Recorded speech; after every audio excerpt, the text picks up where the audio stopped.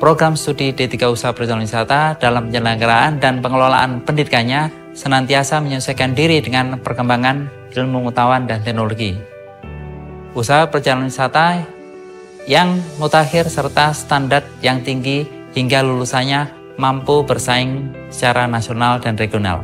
Program studi D3 Usaha Perjalanan Wisata mampu menghasilkan lulusan yang memiliki kompetensi sesuai learning outcome atau capaian pembelajaran berdasarkan kerangka kualifikasi nasional Indonesia atau KKNI dalam menyelenggarakan dan mengelola pendidikannya senantiasa menyelesaikan diri dengan perkembangan pengetahuan kepariwisataan yang terkini serta standar yang tinggi sehingga lulusannya mampu bersaing secara nasional.